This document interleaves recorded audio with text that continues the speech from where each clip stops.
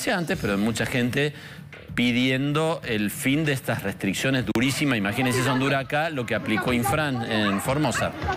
Y estaba saliendo uno de los ministros, Aníbal Gómez, ministro de Desarrollo Humano, estaba a cargo de la cartera de Desarrollo Humano, este, y se le tiró un comerciante arriba el auto. Y Gómez arrancó.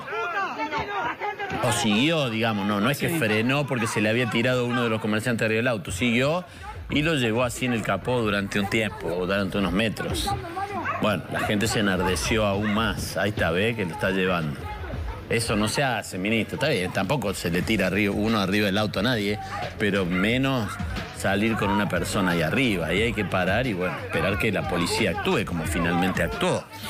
Este, bueno, otra muestra más de lo que pasa en Formosa, el comerciante protagonista del hecho decía. Nosotros fuimos a hacer una presentación de una de, las tantas cartas que hicimos desde que arrancó la pandemia y nunca nos contestaron, nunca nos contestaron más de 10 cartas.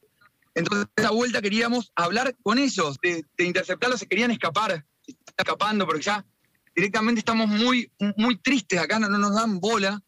Eh, cuando logramos interceptarlo, me paro adelante y bueno, digo, va a parar, va a parar, va a parar. Cuando ya veo que no va a parar, si yo me quedaba quieto, me quebraba la pierna. Entonces ahí pego el salto arriba.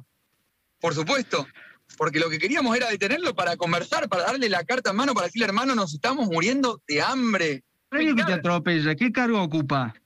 Ministro de Salud. Quizás pensó como lo pagamos nosotros, quizás, pensó que mis piernas me las iba a tener que, me las iba a poder reparar él.